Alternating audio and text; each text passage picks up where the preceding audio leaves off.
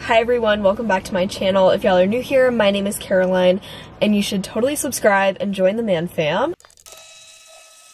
My dog looks like he has been electrocuted. I don't know what's going on, but he is kind of having a weird hair face at the moment where his hair is growing out. So it's like black on the top, but then it's growing out really white or gray, so he looks a little bit frazzled right now. Don't mind that. But anyways, yeah, welcome back. It's a very, very rainy day right now in March. I'm wearing my Cookie Monster pajama pants, threw on a flannel because flannels are just the comfiest things ever. And we're gonna do a little bit of a life update and Q&A. People either love these or hate these, but this one is definitely going to be worth watching because there's lots of updates and things that are going to be really big in my life and also on all of my social media platforms. So I asked on Instagram for y'all to give me some questions and we're just gonna go through them and answer them. Also, how cute is this little hair clip? It's from Emi Jay and I am obsessed with it. It's holding my hair back. This is one of the very few clips that actually can hold all of my hair back. Let's just go for it. Honestly, how are you doing? I am feeling a lot, feeling all the emotions right now. This year is going to be amazing and I'm very hopeful. I'm really excited to see where it takes me. It's definitely been stressful. I feel like January is kind of always a rut period, especially for content creators who participate in Vlogmas. It's really easy to get burnt out and I think I was kind of feeling a little bit of that in December. Okay, this train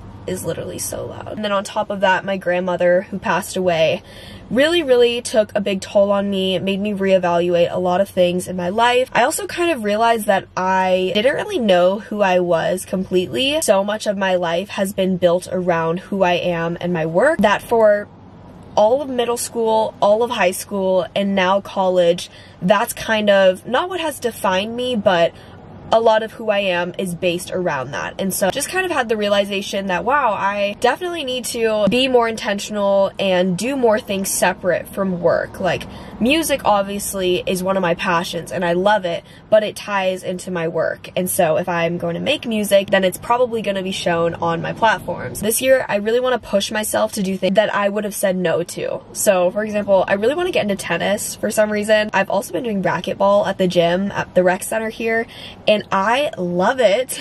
So I don't know, maybe just finding things like that that have nothing to do with my work and, and whatnot. This is a question. I feel like there's never really a good way to answer this or a time when you are supposed to answer it. So I'm just gonna get it out there.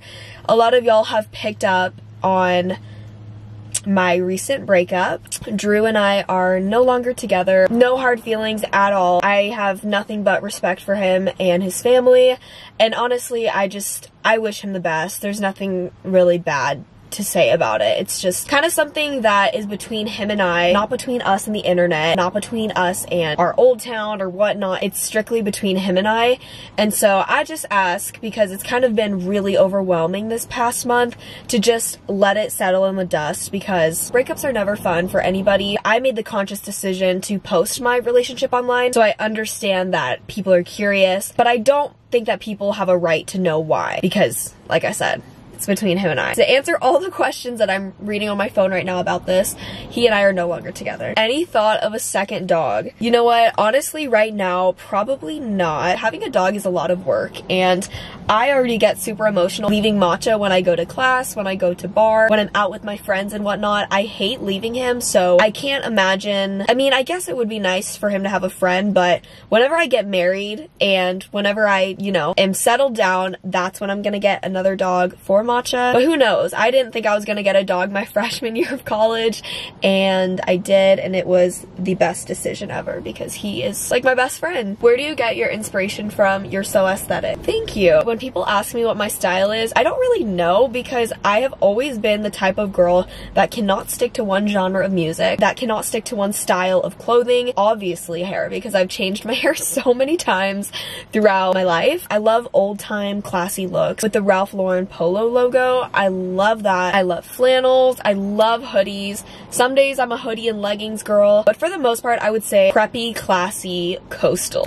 If that makes any sense at all. But then I also love businessy because I do wear blazers. My mom has a really big part in the fashion and what I wear. And then I would say she and my dad have a big, big part in my music because I love all kinds of music. What is something about college you didn't realize before? I remember in high school and in middle school, there were so many opportunities where if you got a zero on an assignment or you did really bad, you could retake it and get 100. And you had all these opportunities and chances. And I remember in high school, they always said, in college, you don't get this like your grade is your grade, whatnot. And I would say some professors are definitely, they live by that. They base their classes off of that mentality of whatever grade you get, this is it. But there have been times where I've met with my teachers outside of class and just asked for extra tutoring and just showing up in front of them and letting them know that I care about my grade and want to learn more about it instead of asking, can I fix this? There's a chance that they will let you fix it and get a higher grade. So I guess like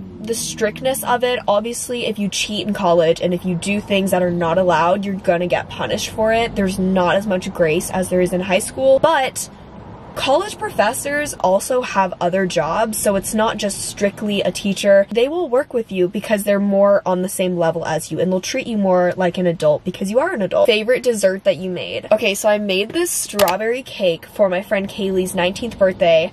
I threw a little surprise birthday for her and it was, oh my gosh, divine. If you haven't seen it, I'll put a picture on the screen, but the strawberry cake was amazing. I did like a cream cheese vanilla frosting on top and then cut up strawberries and added it. But I love baking and cooking. Love making people feel special on their birthdays and that cake was like I want it right now. My mouth is watering just thinking of it. How is your workouts going? I've gotten my workouts down to a T and I need to share it because I am obsessed and I feel like I've never seen the most progress and change in my body since I've done this routine. So every day I go to barre class. Barre is like a mix of Pilates and yoga, but also, I don't know, like cardio too, because you do a lot of like bending, squatting, things like that, but it's really, really good for toning. Those are the kind of workouts that I always wanted. I'm not against lifting. Basically all of my friends lift. They show me workouts sometimes, but personally for me, barre is something that I feel most confident doing and I just like the results from it. So I always go to barre every day and on my Apple Watch, I can see how many steps I walk. I try to average 10,000 steps a day and it's kind of easy because if you're a college student, you do a lot of walking just in general. So I'll usually get 5,000 steps just walking along campus and doing my day-to-day -day lives, going grocery shopping, whatever. At my gym, there's like an indoor track and there's also treadmills. And so I'll either walk the indoor track and call my parents and that passes time really, really fast. Little tip, if you hate walking on treadmills and you just hate looking at the number go up slowly and slowly, then call your parents or call somebody and just debrief because time will go like that. My girlfriends and I usually plan when we go to the gym around the same time, so they'll do their lift, I'll be in my barre class, and then we'll just walk and talk on the track. And so that's what I do every day. It's kind of nice because each time I go to barre, there's different instructors, so it's not the same workout every day. It's different parts of your body that are being targeted, and that definitely helps because if you do the same workout, sometimes it can actually stunt your progress and your growth. Oh, okay, this is so good because I have been posting about Dutch Bros like no other. Go to order at Dutch Bros. I get the medium iced white chocolate lavender cold brew and I add oat milk in it. That is the best thing ever. Another order, if you're not into cold brew, I put it on my TikTok. Iced medium Kokomo with oat milk. So good. So, it's like chocolate milk. What is your favorite part of your home? My bed. My bed is a literal cloud. This is something that I'm really proud of myself about because my old bed was not comfy at all. But every single time that my girlfriends sleep over, they always, always want to sleep in and they never want to get out of bed. So I have to open the blinds, turn on the lights, wake them up because my bed is like a marshmallow, like a literal marshmallow. And I love it. How do you go out alone and feel safe or fine? So I carry my keys everywhere with me. And on my keys, I have this thing called Birdie. It's like a trigger alarm. And if you're a girl, you need to get this. My aunt got this for me. I think it was my last birthday. Basically, I'm not to pull it right now because it's very loud and scary. But this top part, if I like pull it, the light starts flashing and it is like the biggest alarm whistle ringing It's really terrifying. I've done it before in the car and I scared myself. I also carry pepper spray.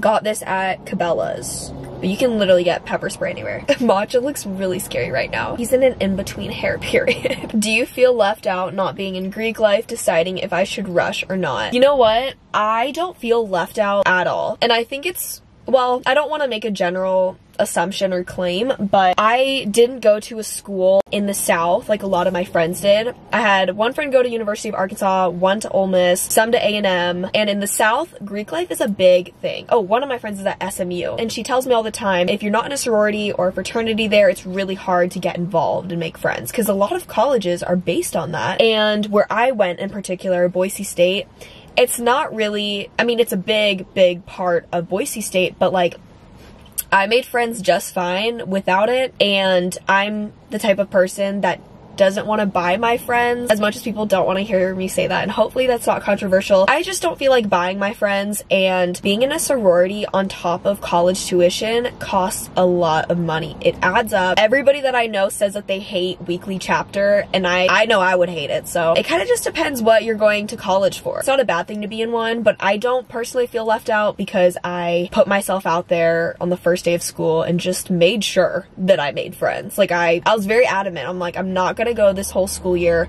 without having a friend and I can't just sit on my butt all day and expect people to walk up to me. I actually have to put in the effort. That's, that's my take on that. Do you want to move to another country in the future? You know what? I have always, always wanted to live in Austria. Like I want to get married there or have my honeymoon there or something because Austria is literally my favorite place on the whole earth. I think it is beautiful. Yeah, I guess if I were to move to a country, it would be there or somewhere that has Scandinavian lifestyle. Like Sweden, Copenhagen, I don't know. Just those countries are the most precious thing ever. Oh, this is so good. Okay, these questions are deep, y'all. How can you differentiate a genuine soul to a bad friend in college? College. I've definitely touched on this on one of my podcast episodes, so I'm gonna do a little plug really quick. I have a podcast called Letters from Caroline. I keep them short, I'm straight to the point. I don't have ads in it, and each episode is a letter from me to you. The way that I see it is when I left high school, I told myself and I promised myself no more BS. I'm not gonna be friends with somebody who I can genuinely look at and see is this person truly happy for me? And if I were to tell them tomorrow that I won the lottery would they be happy for me or would they hate my guts or be fake to me. That's how I started viewing all of my relationships and that's how I determine who is genuine. And another thing that I started doing which I told one of my friends this who was really really needing some advice I said why do you look at your friendships and your relationships different? So for example, if you have a friend and this friend is treating you like crap, she always talks bad about you, very, very flaky, and you can recognize that that friend is not good for you and you're like, yeah, I don't want people like that in my life, but you're willing to put up with that in a relationship, what's the difference? Because we give a lot more grace either to relationships or to friends, but we don't hold both of those to the same standard. When I told my friend that, she told me that every time that something happened, whether it was with a friend or with a relationship, she thought about that. Like that was where her mind first went to is, okay, I like this guy, but he does this. And I wouldn't want this in a friendship anyways, so I don't want this guy. And I'm telling y'all, it works. It literally works. What do you ask for when you get your hair done? Well, my hair is dark now. I went back to my natural color, just like dark brown, I guess. What I ask for when I get a haircut is usually like three inches off every time I go. And then I'll ask for face framing layers starting at my chin. Now, obviously, my hair has grown a lot. Like, this is how much it's grown since December when I asked for a haircut. And my hair grows like that, like a weed. It's crazy how fast my hair grows, but I love face framing layers and it just kind of gives your hair some like volume and movement. For a while, my hair was just like flat, just straight across, no movement. And I had it like that because during cheer, I could always trust on my hair if it was just straight, but I do love the layers. I feel like it gives me a more mature look. What's a quote you stick with? This is a quote that my dad told me when I first started YouTube. A lot of girls at my school immediately turned on me, hated my guts, and then like a month later, they would be like, coming back and being really nice to me for some reason.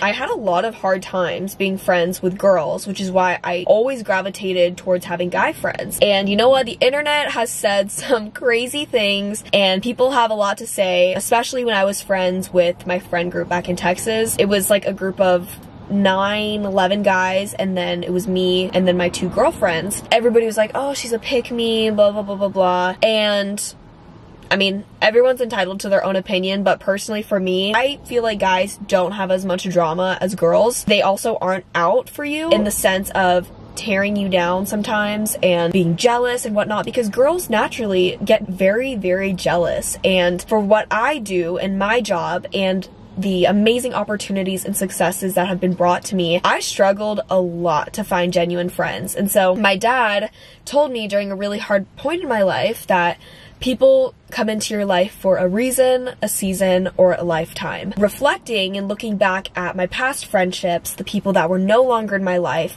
the people that are in my life right now, and just thinking who am I going to be friends with in the future really helped me analyze, okay, is this person in my life for a reason? Are they teaching me something? Are they in it for a season, just a short amount of time? Or are they going to be there for the long haul? I don't know, it's always stuck with me. My dad is very, very good with his quotes. His favorite one is the early bird gets the worm. My whole family woke up at 5.45 every morning for as long as I can remember. We were always early to events and things. We were never, ever late. God forbid if we're late it's bad in our family, you know, and as cheesy as I used to think they were, they actually stick. So good job, Ricky P. My camera is flashing. It's like yelling at me, telling me we're done. So anyways, I love you guys so much and I hope y'all enjoyed today's video. Yeah, get excited. I'm gonna be really active on YouTube. I'm also so active on TikTok right now. So go follow it. All my links will be in the description and I will see y'all in my next video. Ciao.